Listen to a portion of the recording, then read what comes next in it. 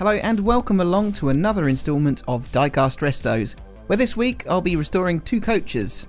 These are the 21A and longer 21B versions of a Bedford Duple luxury coach.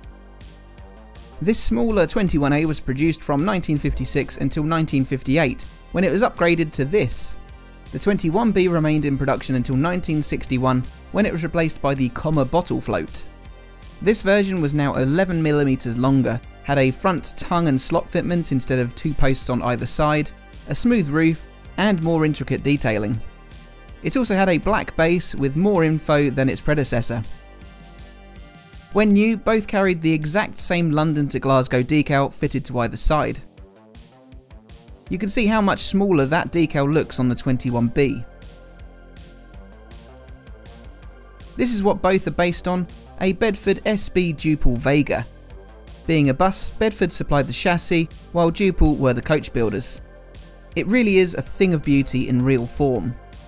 Someone had at some point flipped the base on the A upside down, which concealed the wording and the tubes that retain the axles. The rear axle was bent slightly out of shape on this one.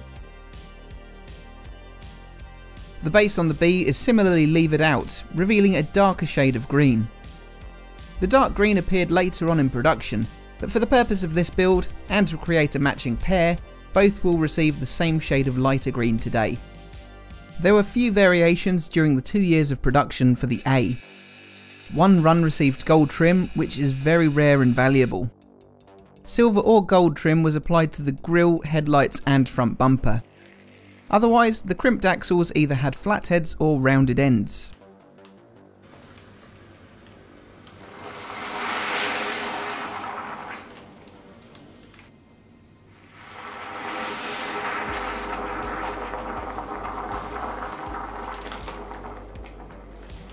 Aside from the shade of green, there were only a couple more variations on the B.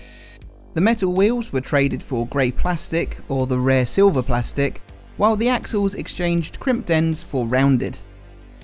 Again, trim was applied to the grille, headlights and front bumper.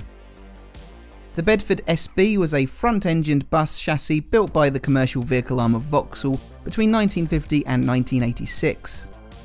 It was their first forward control vehicle and during production was powered by a variety of engines, including Bedford, Cummins, Leyland and Perkins.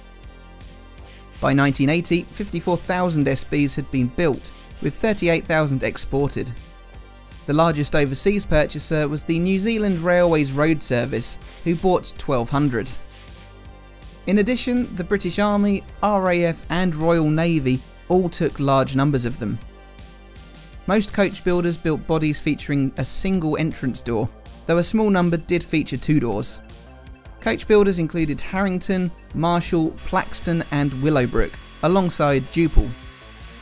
Duple were founded in 1919, who primarily built bus and coach bodies, until their demise in 1989. The Vega body featured a curving waistline, reminiscent of Duple's earlier designs. This made the Vega body distinctly different from other SB bodies. You'll notice I've left the base attached to the 21A model. This is because it was coloured green, where the 21B had a black base. The plastic wheels of the B had not escaped the red overpaint, so that is removed with some Dettol antiseptic liquid and can then be picked away before a wash. The metal wheels are washed too, while the plastic wheels are hammered back onto the 21B base, the metal ones are crimped onto the A using my locking pliers.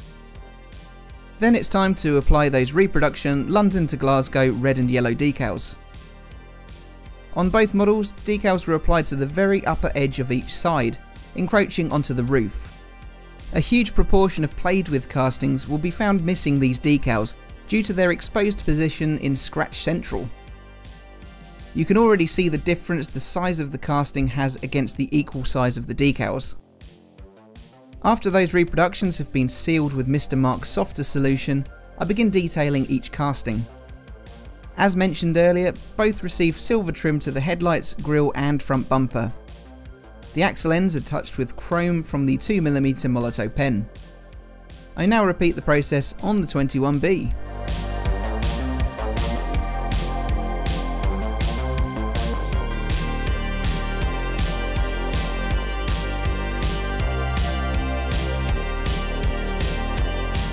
Lastly, I reconnect the body and base. And there we have it. This is how my pair of Bedford Duple coaches looked originally. The smaller 21A had its base removed and flipped upside down, had a bent axle, and was missing its decals. Its bigger brother, the 21B, had been repainted red, with some of that spilling over onto the plastic wheels. Both were in serious need of a smart new livery, so let's take a look at how they've been transformed. Each now matches the other in an eye-catching coat of Ford Signal or Race Green, complete with identical decals. Silver trim has been reapplied to the fascias and chrome helps make the axle ends look like new. Other minor fixes included straightening out a bent axle on the 21A and flipping its base up the right way. But that's all there is to say on this relatively simple duo. I hope you've enjoyed this set of restorations. Sorry my recent videos have been pretty straightforward restorations, I'm running a little bit behind with my schedule at the moment, and I pride myself on sticking to a weekly Friday release. But do tell me what you think in the comments below.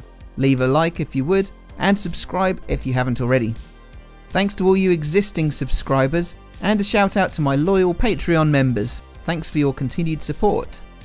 Follow the links at the end of the video to join them. So thanks for watching, and I'll see you again for the next one. Bye for now.